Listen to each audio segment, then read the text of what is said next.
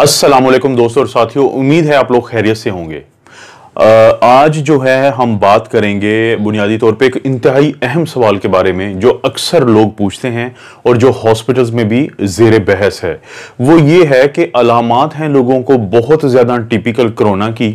ان کا پی C R بھی positive آتا ہے، لیکن اس کے باوجود ان کا جو اینٹی باڈی ٹیسٹ ہے یا تو وہ نیگیٹو ہے یا وہ انتہائی ویک ہے. ویک اور سٹرونگ کو ہم کہتے ہیں ٹین کے ڈیجٹ سے کہ کم ہو تو اس کو ویک اینٹی باڈی ٹیسٹ سمجھا جاتا ہے اور اس سے زیادہ کو سٹرونگ لیکن اس سے پہلے میں آپ کو ایک اہم خبر دیتا ہوں. آج ہے چھ جولائی دو ہزار بیس. یہ ہے آج کا انتہائی امپورٹنٹ خبر اور یہ پاکستان کا ایک بہت مشہور انگریزی اخبار ہے. اب اس کی خبر کے مطابق آپ دیکھیں کہ حکومت پاکستان اور میڈیا دونوں نے مان لیا ہے کہ پاکستان کے اندر جو انفیکشن ریٹ ہے وہ ڈراپ ہو چکا ہے۔ یعنی فورٹی تھری پرسنٹ ڈراپ ہوا ہے انفیکشن ریٹ اس سے بھی کہیں زیادہ اہم انہوں نے یہ تسلیم کیا ہے کہ ان کے سارے اندازے غلط ثابت ہوئے ہیں۔ اور ان کا جو خیال تھا کہ ایک پیک آئے گی جون کے اینڈ پہ اور جو تین لاکھ کیسز ہوں گے، ایسا کچھ نہیں ہوا۔ بلکہ یہ سارے اندازے اس حد تک غلط ثابت ہوئے کہ جو میکسیمم پیک بھی گئی ہے، وہ دو لاکھ تک گئی ہے۔ اور اس کے ساتھ ساتھ انہوں نے تسلیم کیا ہے کہ جو انفیکشن ہے اور جو ریکوری ہے، ان کے درمیان کا گیپ کم ہو رہا ہے اور زیادہ سے زیادہ لوگ بہتر ہو رہے ہیں اور انفیکشن ریٹ کم ہو رہا ہے۔ تو خدا کا شکر ہے کہ جو ہماری اسیسمنٹ تھی وہ صحیح ثابت ہوئی اور آپ لوگوں کی طرح میں بھی ایک انتہائی خوش فہم انسان ہوں اور میری اسیسمنٹ یہی تھی کہ انشاءاللہ جون کے اینڈ تک پاکستان میں وبا کا زور ٹوٹ جائے گا۔ اب واپس آتے ہیں بنیادی سوال کی طرف۔ اب پچھلے دنوں پاکستان میں بھی اور پوری دنیا میں بھی اور خاص طور پہ ہاسپٹلز میں بھی یہ واقع ہوئے ہیں کہ لوگوں کا پی سی آر پوزیٹیو تھا، ان کی ٹیپیکل علامات تھی، لیکن اس کے باوجود ان کا یا تو اینٹی باڈی ٹیسٹ نیگیٹو تھا یا وہ انتہائی ویک تھا۔ اب جو انسانوں کی علامات ہوتی ہیں، آپ نے ایک بات ذہن میں رکھنی ہے کہ کسی بھی شخص میں جو علامات آتی ہیں کرونا کی، وہ سپیریئر ہیں۔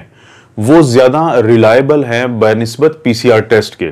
یعنی اگر ایک ہی وقت میں ایک گھر میں دو، تین یا چار یا ایک انسان کو جو شہر میں رہتا ہے جہاں پہ یہ وبا ہے، کچھ ایسی علامات آئی ہیں جن کو ہم کرونا کی علامات کہتے ہیں اور جن کو ہم بہت دفعہ ویڈیوز میں بات کر چکے ہیں۔ تو اس کا مطلب یہ ہوگا کہ چانسز یہی ہیں کہ ان کو کرونا ہی ہے۔ اور ایسے لوگوں نے جب اپنا پی سی آر ٹیسٹ بھی کروایا، جو کہ عام طور پہ اگر آپ تین سے سات دن کے درمیان کرواتے ہیں، تو پوزیٹیو آنے کے چانسز بہت زیادہ ہیں، لیکن وہ بھی پوزیٹیو آیا۔ تو اس کے باوجود اینٹی باڈی ٹیسٹ نیگیٹو یا ویک کیوں ہے؟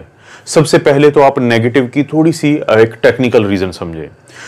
پوری دنیا کی طرح پاکستان میں بھی جو اینٹی باڈی ٹیسٹ ہے، وہ دو کمپنیز جو ہیں روش اور ایبٹ کرتی ہیں۔ ان دونوں کا جو دعویٰ ہے، اس کو ہم سینسٹیوٹی اور سپیسیفسٹی میں بات کرتے ہیں۔ سینسٹیوٹی کا مطلب یہ ہوتا ہے کہ اگر آپ کا ٹیسٹ پوزیٹیو آیا ہے، تو کس حد تک چانسز ہیں کہ یہ اصل میں پوزیٹیو ہے اور آپ کے اندر اینٹی باڈیز بن چکی ہیں۔ تو اس کی جو سینسٹیوٹی ہے ان دونوں کمپنیز کی اینٹی باڈی ٹیسٹ کے لیے، وہ ہے ہنڈریڈ پرسنٹ یعنی اگر ٹیسٹ پوزیٹیو ہے تو یہ کنفرم بات ہے کہ آپ کے اندر اینٹی باڈیز بن چکی ہیں، آپ کا امیون سسٹم کام کر رہا ہے اور آپ کی امیونٹی ڈیولپ ہو رہی ہے وائرس کے اگینسٹ دوسری چیز ہے اس کی اسپیسیفسٹی اب اسپیسیفسٹی یہ ہوتا ہے کہ اگر ان دونوں ٹیسٹ جو میں نے ایبٹ اور روش کا بتایا ہے اینٹی باڈی ٹیسٹ، اگر کسی کا نیگیٹو آئے تو وہ کس حد تک سچا نیگیٹو ہے یا فالس نیگیٹو ہے؟ اس کو بتانے کے لیے جو ٹرمینالوجی ہے وہ ہے سپیسیفسٹی ان دونوں کمپنیز کے جو ٹیسٹ کی سپیسیفسٹی ہے وہ نائنٹی سے نائنٹی تھری پرسنٹ ہے. یعنی ہر سو میں سے تقریباً اپروکسیمیٹلی دس لوگ وہ ہوں گے جن کا اگر یہ نیگیٹو بھی آ جائے ٹیسٹ تو اس کا مطلب ہوگا کہ یہ فالس نیگیٹو ہے۔ انسان میں اینٹی باڈی تو ہوں گی، لیکن یہ ٹیسٹ ڈیٹیکٹ نہیں کر پا رہا۔ تو ہم ٹین پرسنٹ یعنی آؤٹ آف ایوری ہنڈریڈ ہر سو میں سے دس کا نیگیٹو ٹیسٹ تو ایسے ہم ایڈجسٹ کر سکتے ہیں یا ایکسپلین کر سکتے ہیں کہ اگرچہ ان میں اینٹی باڈی تھی، لیکن یہ ٹیسٹ ان میں ڈیٹیکٹ نہیں کر سکا۔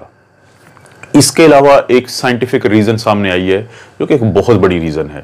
اب ہمیشہ بہت ساری ویڈیوز میں میں یہ بات دہرا چکا ہوں کہ جب وائرس ہمارے اندر داخل ہوتا ہے تو ہمارے مدافعتی نظام کے دو سسٹم ہیں جو کام کرتے ہیں، جو دونوں ایک دوسرے کے ساتھ جڑے ہوئے ہیں۔ سب سے پہلے جو اٹیک کرتا ہے وائرس کے اوپر، اس کو ہم کہتے ہیں انیٹ سسٹم اس کے مشہور سیلز کے اندر ہوتا ہے میکروفیج ہوتا ہے نیچرل کلر سیلز ہوتے ہیں ڈینڈریٹک سیلز ہوتے ہیں. یہ فوری طور پہ کیا کرتے ہیں کہ یہ وائرس کو پکڑتے ہیں، اس کو توڑتے ہیں، اس کو چھوٹے چھوٹے حصوں میں تقسیم کرتے ہیں. یا ان سیلز کو، جیسے اگر وائرس جاتا ہے کسی انسان کے ناک کے راستے، منہ کے راستے، تو وہاں پہ جو سیلز کو وہ انفیکٹ کرتا ہے یا جن کے اندر جاتا ہے تو یہ جو انیٹ سسٹم ہے، ان سیلز کو یعنی انفیکٹڈ سیلز کو بھی مارتے ہیں۔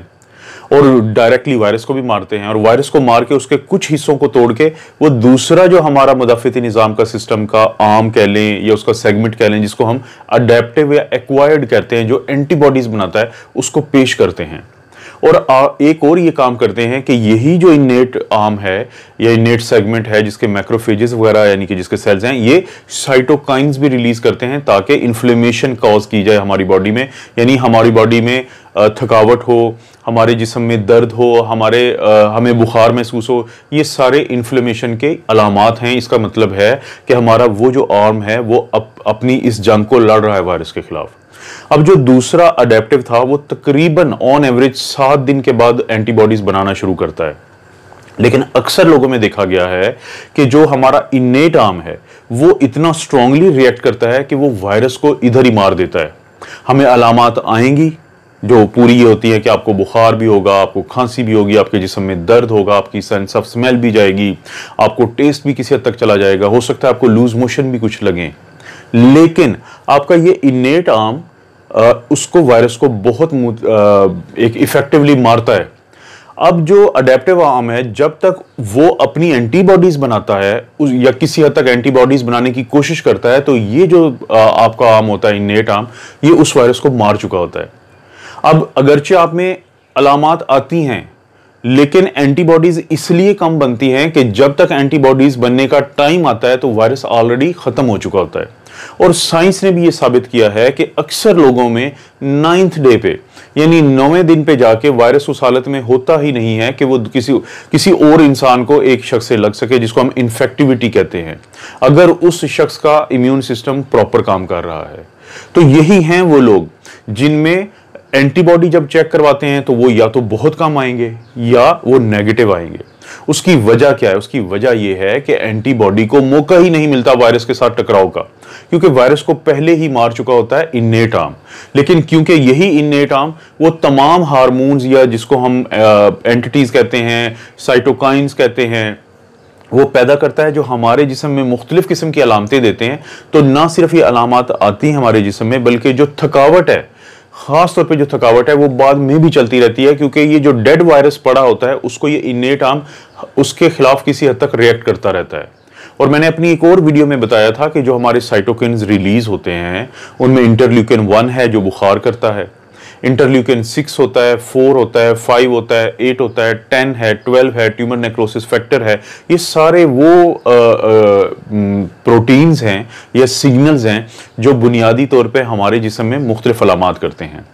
اب ایک اور خاص میں ایک ایکسٹرا آپ کو اس میں بات بتا دوں کہ جو ہمارے بزرگ ہوتے ہیں، ان میں وقت کے ساتھ ساتھ جو ہمارا انیٹ عام ہے یعنی ہمارے مدافعتی نظام کا جو پہلا حصہ ہے، وہ تو مضبوط رہتا ہے، لیکن جو دوسرا یعنی اڈیپٹیو جس نے اینٹی باڈیز بنانی ہے وہ کمزور ہو جاتا ہے۔ اب انیٹ عام کوشش کرتا ہے کہ وائرس کو مارے، لیکن کیونکہ یہ ڈس ریگولیٹڈ امیون سسٹم ہوتا ہے، شوگر کے مریضوں میں، بزرگوں میں، بہت سارے وہ لوگ جن کو ہم رسک والے مریض کہتے ہیں وہ بناتا رہتا ہے سائٹوکائن لیکن اینٹی باڈی والا کیونکہ اینٹی باڈی بنا نہیں پاتا تو سائٹوکائنز اتنے زیادہ بن جاتے ہیں کہ وہ اس مریض کے اپنے ہی جسم پہ حملہ ہو جاتے ہیں۔ جبکہ نوجوانوں اور ان لوگوں میں جن میں امیون سسٹم بہتر ہے، ان میں یہ جو انیٹ آم ہے، یہ بہت افیکٹولی وائرس کو مارتا ہے، جس میں عام طور پہ تین سے پانچ دن لگتے ہیں۔ اور اس کے بعد جو سائٹوکینز بنے ہوتے ہیں، یا کسی حد تک تھوڑے تھوڑے بنے ہوئے تھے وہ مختلف علامات کو پیدا کرتے رہتے ہیں، جن میں خاص طور پہ تھکاوٹ ہے، جس کو ہم پوسٹ وائرل فٹیک کہتے ہیں۔ اور اس کے علاوہ بھی کچھ باقی علامات ہیں جو چلتی رہتی ہیں، جیسے کہ جسم میں درد کا ہونا، ہلکی پھلکی بخار کی کیفیت کا محسوس ہونا کسی حد تک لوز موشنز کا رہنا، چیزوں پہ دماغی توجہ نہ دے پانا، نیند آنے میں مسئلہ ہونا، سردی لگنا، اور لیکن ان سب میں نمایاں کون سی ہے کہ وہ تھکاوٹ ہے؟ اور باقی لوگوں کو کسی حد تک سر میں درد اور کھانسی یہ چلتی رہتی ہے۔ ان مریضوں کو جن میں یہ چیزیں چلتی رہتی ہیں، ہم کہتے ہیں لانگ ہالرز یہ اس وقت دنیا میں بہت زیادہ ہیں، لیکن ان میں خاص بات یہ ہے کہ یہ مسئلہ اگرچہ ان کو چلتا رہے گا، لیکن ان کو اس کا کوئی نقصان نہیں ہے اور الٹیمیٹلی انہوں نے ٹھیک ہو جانا ہے۔ یہ کوئی لائف تھریٹنگ چیز نہیں ہے۔ تو وہ تمام لوگ جو اس وجہ سے پریشان تھے کہ ان کا اینٹی باڈی ٹیسٹ جو ہے یا تو ویک آیا ہے یا نیگیٹو آیا ہے، اگرچہ ان میں علامات بھی آئی تھی اور بعض لوگوں نے پی سی آر ٹیسٹ کروایا تھا، وہ بھی پازیٹیو آیا تھا۔ تو ان کو فکر کرنے کی ضرورت نہیں ہے۔ وہ اس لیے ضرورت نہیں ہے کہ سائنٹیفکلی اب یہ ایکسپلین ہوا ہے، کیونکہ دیکھیں یہ ایک نوول کرونا وائرس ہے، یہ ایک نیا وائرس ہے۔ اس کے بارے میں سٹڈیز آتی ہیں، ہر ہفتے، ہر دوسرے دن یہاں پہ نئی نئی چیزیں آشکار ہو رہی ہیں۔ اور یہ دنیا میں شاید پہلی دفعہ ہے کہ کیونکہ ڈیجیٹل اور سوشل ورلڈ اتنی ترقی کر چکی ہے کہ آپ کی انفارمیشن بہت جلد ایک سے دوسری سوسائٹیز میں کمیونٹیز میں اور ملکوں میں شیئر ہوتی ہیں۔ تو جیسے جیسے چیزیں آتی ہیں، ویسی کوشش ہوتی ہے کہ آپ کو اپڈیٹ کیا جائے۔ تو پلیز وہ تمام لوگ جو اس لیے پریشان تھے کہ ان کا اینٹی باڈی ٹیسٹ ویک آیا ہے یا وہ نیگیٹو آیا، تو وہ پریشان مت ہوں۔ آپ کی علامات آپ کے لیے سب سے بڑی انڈیکیٹر ہوتی ہیں، سب سے بڑا یہ اشارہ ہوتی ہیں کہ آپ بہتر ہیں۔ یا آپ خراب ہو رہے ہیں۔ اگر آپ کو علامات آئی تھیں اور علامات بہتر آ گئی ہیں، تو اس کا مطلب ہے کہ آپ کو کسی قسم کی پریشانی کی ضرورت نہیں ہے۔ اور خاص طور پہ فورٹین ڈیز کے بعد آپ اپنی آئسولیشن ختم کر سکتے ہیں کسی حد تک احتیاط کے ساتھ کہ ماسک کو پہنتے ہوئے اور ہاتھوں کو دھوتے ہوئے۔ مجھے امید ہے اس اس سے کسی حد تک آپ کو یہ میسج کلیئر ہوا ہوگا۔ میری کوشش ہوگی کہ جو بھی نئی اپڈیٹ آتی ہے اور مجھے لگتا ہے کہ وہ آپ کے لیے ضروری ہے، تو میں ضرور آپ کو اس بارے میں اپڈیٹ کرتا رہوں گا۔ آپ اپنا اور اپنی فیملی کا خیال رکھیں۔ اللہ تعالیٰ آپ کو اور آپ کی فیملی کو ہر قسم کی برائی، بیماری اور آزمائش سے محفوظ رکھے۔